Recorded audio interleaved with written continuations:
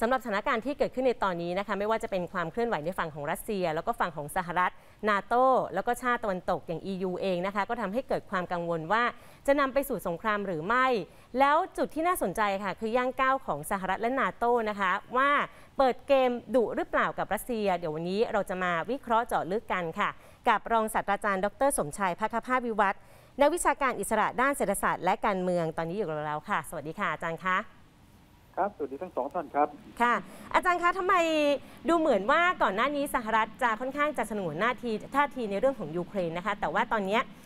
จู่ๆไบเดนจู่ๆกระทรวงกลาโหม ก็มีการพูดถึงเรื่องของการเตรียมพร้อมที่จะส่งทหาร เข้ามาประจำการในยุโรปตะวันออกด้วยค่ะ เป็นการเปิดเกมเสี่ยงเกินไปไหมสำหรับสหรัฐค่ะ ตอนนี้เนี่ยอเมริกากับยุโรปเนี่ยตอนแรกพูดง่ายค่อนข้างจะช้าและก็ค่ะเสียเปรียบ ตอนนี้กำลังเริ่มที่จะเรียกว่าวิ่งขึ้นมา ในลักษณะที่เรียกว่าอะไรครับเอ่อดีขึ้นพอสมควรค่ะทีนี้ถามว่าทำไมถึงทำแบบนี้ ผมคิดว่าถ้าเราดูให้ดีคนกลัวกันเหลือเกินว่าจะเกิดสงครามค่ะผมคิดว่าเอ่อเอ่อเอ่อเขาเรียกว่าอะไรครับ scenario เนี่ยมีสี่รายการฉากทัศน์ฉากทัศน์ที่หนึ่งรัสเซียบุกยูเครนเต็มรูปแบบ ในกรณีโอกาสที่จะเกิดเนี่ย ผมคิดว่าน้อยมาก ทางรัสเซียยังหัวล่อเลย พวกคุณจะฮิสทีเรียหรือเปล่าหาว่าผมจะบุกนะครับ เพราะฉะนั้นที่ทำอย่างนี้ก็เพราะว่ามันไม่เหมือนไครเมียนะ ตอนนั้นนาโต้กับอเมริกาไม่ทางต้านรับ และไครเมียเล็กนิดเดียว ยูเครนนี่เป็นประเทศอันดับสองรองจากอ่าทางด้านของสหภาพ และยูเครนเองตัวเขาเองนะฮะก็มีกองกำลังนะซึ่งพูดง่ายสามารถทำให้เกิดต้นทุน และในวันนี้ที่คุณถามอาจารย์เขาอ่าทางด้านนาโต้เพิ่งจะออกมาในวันนี้เองที่ผมได้ดูจากข่าวของต่างประเทศนะฮะของค่ะของของของจากสเปนกับฝรั่งเศสพูดในทำนองเลยครับว่านาโต้พร้อมที่จะช่วยยูเครนอือฮึซึ่งก่อนหน้านี้จะพูดอย่างเดียวก็คือแซงชั่นทางเศรษฐกิจเพ ราะฉะนั้นค่ะนี่ก็คือเหตุผลที่มีข่าวออกมาว่าส่งกองกำลังโคอาเจ็ดพันกว่าคน ไปทางเอ่อเอ่อทางด้านของเอ่อยุโรปตะวันออก และยังพร้อมบอกว่าอีกสี่หมื่นคนยังระดมได้ภายในห้าสิบวัน เพราะฉะนั้นโอกาสที่จะเกิดแบบนี้นะครับ ผมคิดว่าต้นทุนสำหรับรัสเซียแพงมาก ยังไม่ต้องพูดว่าแซงชั่นเรื่องของโซเวียตอือฮึที่ตัดเรื่องของค่ะสายการนะครับ ทีนี้อันที่สองความเป็นไปได้น้อยลงนะครับ แต่ว่าก็มีความเป็นไปได้ในระดับหนึ่งก็คืออะไรครับเอ่อทำเป็นแบบเอ่อ ยึดไอตัวดอนบัสอ่าดอนบัสค่ะก็คือยูเครนตะวันออกนะฮะค่ะแล้วก็มีสองแบบแบบหนึงก็คือยึดแล้วนะครับทำเป็นแบบจอร์เจีย จอร์เจียที่เขาช่วยเออสองเมืองครับอักกาฟาเรียกับอีกอันหนึ่งเอ่อเอ่อทางตอนใต้ของไอตัวเอ่อทางของของยูเครนนะครับเออออสตราเทียแล้วเป็นเขาเรียกว่าเป็นประเทศแยกแผ่นดิน แต่อาจอีกอันหนึ่งก็คือช่วยแล้วก็กลายมาเป็นส่วนหนึ่งของเอ่อรัสเซียแบบเดียวกับทางไครเมีย โอกาสจะทำแบบนี้มันมี แต่ว่าไม่ใช่ง่ายนัก เพราะว่าในกรณีนี้นะถ้าคุณนะจะชนะค่ะก็ยังขืดขึ้นคอต้องใช้เวลา ต้นทุนยังมีอยู่ อันนี้ยังมีโอกาสเป็นไปได้ อันที่สามที่มีความอ่าเป็นไปได้ อีกอันหนึ่งก็คืออะไรครับทำในลักษณะเขาเรียกว่าสงครามนะครับในลักษณะเขาเรียกว่าไฮบริดก็คือหนึ่งเอ่อสงครามไฮบริดเริ่มใช้แล้วเรื่องของไซเบอร์สองพยายามที่จะทำให้ยูเครนอ่อนแอลงนะครับ ด้วยการบีบเพื่อที่จะ ให้เกิดการเปลี่ยนแปลงผู้นำเราจะเห็นได้ชัดนะฮะมันมีข่าวจากอังกฤษบอกเลย คุณพยายามจะเปลี่ยนแปลงผู้นำให้มาเป็นผู้นำที่เป็นส่วนหนึ่งของคุณค่ะซึ่งอันนี้ก็มีความเป็นไปได้สูงขึ้น ถ้าเขาทำได้ อันที่สี่อันนี้จริง ๆแล้วนะครับ ก็คือว่าในเกมนี้ทั้งรัสเซียและทั้งอเมริกาและนาโตเนี่ยพูดง่ายต้องเล่นละครแล้ว เพราะว่าค่ะรัสเซียเล่นตัวนี้หนักมาก อยู่ดีๆกลับออกไปไม่ได้อะไรเลยนะฮะอือฮึมันเป็นไปไม่ได้ เพราะมันจะค่ะทำให้ประเทศตัวเขาเองจะเสีย นาโตเองก็จะยอมไม่ได้ เพราะฉะนั้นสิ่งที่เกิดขึ้นเป็นกรณีที่สี่คือไม่ลบนะฮะค่ะนะความเป็นไปได้จะมีในกรณีนี้คือรัสเซียเรียกร้องให้นาโตและก็อเมริกาเนี่ยเขียนเป็นลายลักษณ์อักษรหนึ่งอะมันมีหลายข้อข้อที่สำคัญข้อหนึ่งจะไม่ยอมให้จอร์เจียและยูเครนเป็นส่วนหนึ่งนาโตตามที่นาโตบอกไว้ในปี 2008กับข้อสองถอนกองกำลัง ซึ่งมันมีกองกำลังชั่วคราวออกจากยุโรปตอนออก ซึ่งทุกวันนี้ก็มีอยู่ที่โปแลนด์นึกออกไหมครับ กับประเทศค่ะต่างๆเหล่านี้ ซึ่งในกรณีถ้านาโตยอมอเมริกายอมเสียคนเลย เท่ากับว่าถูกข่มขู่ทีนี้ถ้าหากว่าทางด้านของรัสเซียอ่าทำาไม่ได้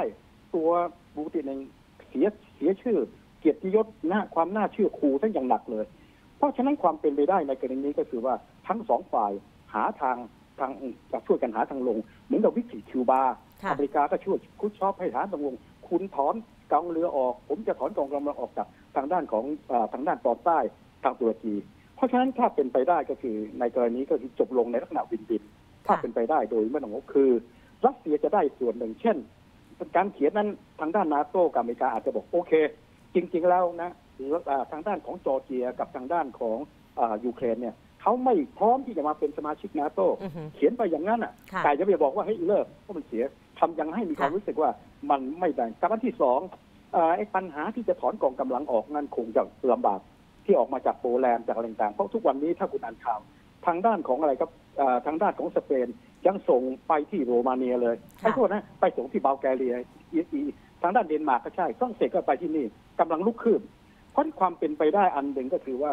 จะมีการตกลงนะในเป็นลักษณะว่าอ่าจะไม่เป็นภัยคุกคามจากทางด้านของรัสเซีย นั่นก็คือสร้างเขาเรียกว่ากลไกแห่งความเชื่อมั่นนะครับเป็น confidence building ให้มันมีความรู้สึกกับประการสุดท้าย สิ่งที่ทั้งรัสเซียอยากจะได้ ยุโรปอยากได้นำเอาข้อตกลงที่ทางด้านเอ่อทรัมป์นะยกเลิก ก็คือข้อตกลง intermediate range nuclear force ค่ะซึ่งประมาณ 5,000 ไมล์กับ 5,500 ซึ่งอันนี้ถ้าหากว่าเป็นที่ยอมรับได้ ซึ่งอันนี้ทางด้านรัสเซียต้องบอกว่าให้ยที่คุณยอมมันโอเค แต่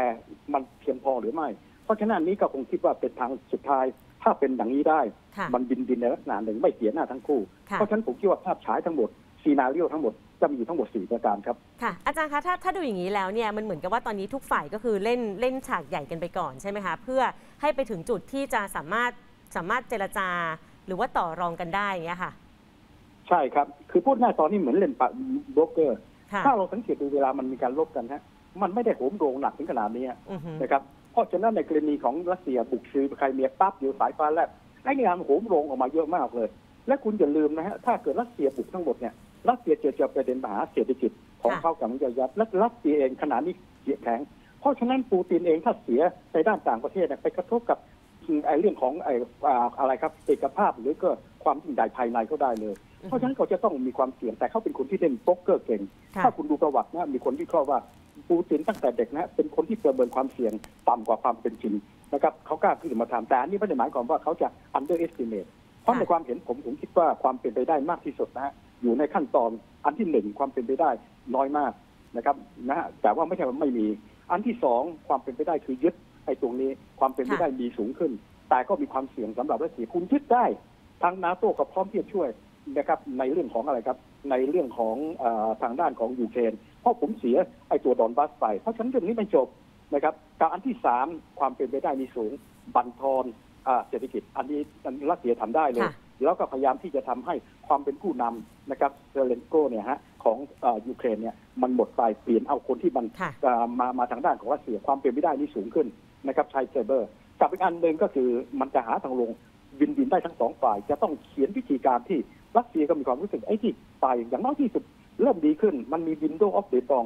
ตกลงกันบลิงเคนเนี่ยนะจะเขียนภายในอาทิตย์เนี้ยค่ะอาทิตย์หน้าบอกเป็นลายลักษณ์อักษรเลยว่าเขาจะทำยังไงเพื่อให้มีความมั่นใจว่า ไอ้ความภัยคุกคามที่รัสเซียอ้างนะ ตัวนี้นะมันมีการลดลงไป เพราะฉะนั้นอันที่สี่เนี่ยเป็นสิ่งที่บินบินที่เป็นไปได้ แต่ว่าขณะเดียวกันต้องหาทางลงได้ทั้งสองฝ่ายครับค่ะ อาจารย์คะทีนี้สหรัฐเองเนี่ยวันสองวันนี้มีการพูดถึงเรื่องของการส่งทหารอเมริกันเข้ามาในยุโรปตะวันออก เข้ามาในเอ่อกลุ่มประเทศบอลติกเนี่ยนะคะ อย่างล่าสุดเองก็พูดขึ้นมาว่าให้เตรียมพร้อมแล้วแหละ 8,500 นายค่ะ การที่สหรัฐจะส่งทหารเข้ามาเนี่ยมัน มันคือในในฝั่งของนักการเมืองในสหรัฐเองก็ยอมนะคะเพราะว่าสหรัฐก็มีบทเรียนกับการส่งทหารไปหลาย ๆ พื้นที่อย่างอัฟกานิสถานก็เพิ่งเจ็บหนักกลับมาเนี่ยค่ะ ครับดีมากครับ สิ่งที่เขาทำตอนนี้นะครับกำลังเพิ่มต้นทุนให้กับรัสเซียค่ะถ้าคุณบุกยูเครนไม่เมื่อไหร่คุณตอนนี้จะเจอเป็นปัญหานาโต้กับอเมริกาจะเข้ามาช่วย ทีนี้ตาม logic เดิมนะฮะทำไมปูตินยึดไครเมีย หลักเกณฑ์ของเขาก็คิดเขาไม่ทันรู้ตัว เพราะฉะนั้นถ้ายึดไครเมียในกรณีอเมริกาทำสงครามโลกค่ะเป็นไปไม่ได้นะครับ เพราะฉะนั้นในทีแต่ยึดปั๊บเนี่ยนะครับ ในกรณีไม่เรามีกำนำสูงกว่า แต่ในวันนี้สิ่งที่อธิบาย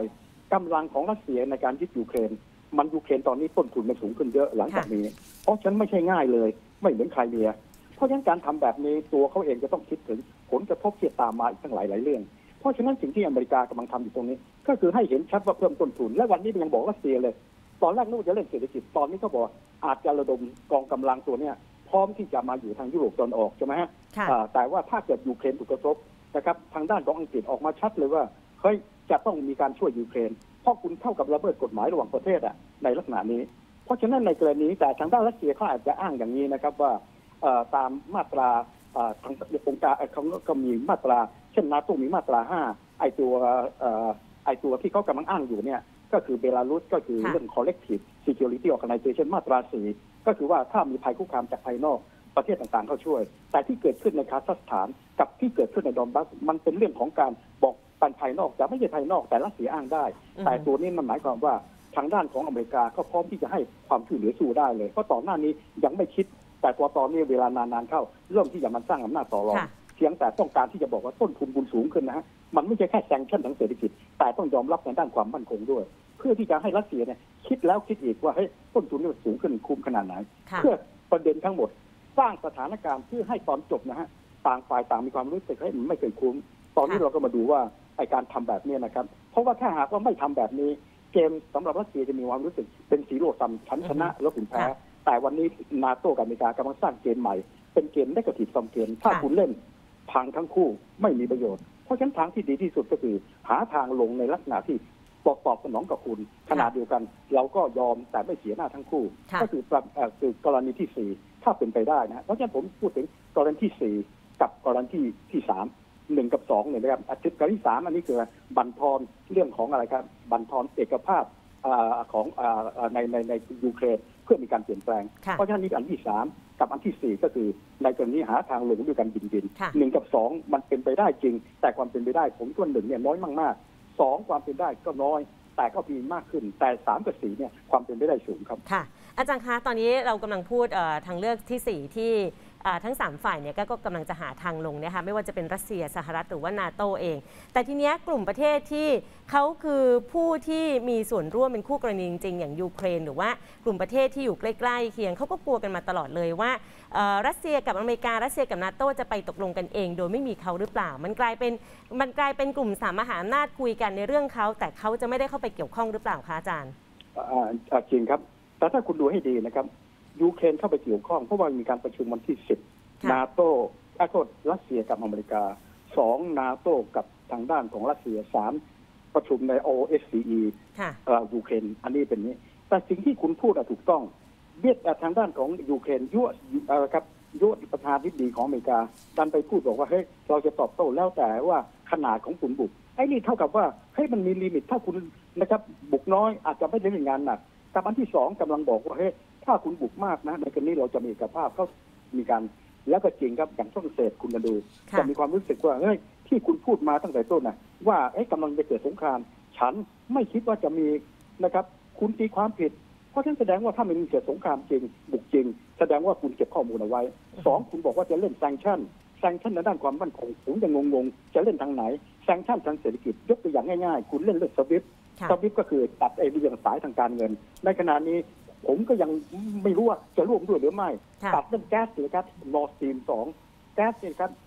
ทางเยอรมันพึ่งพาแก๊ส 40 เปอร์เซ็นต์เพราะฉะนั้นในกรณีนี้ก็ทำให้เกิดความรู้สึกให้เกิดการแตกแยกขึ้นมา แต่อย่าลืม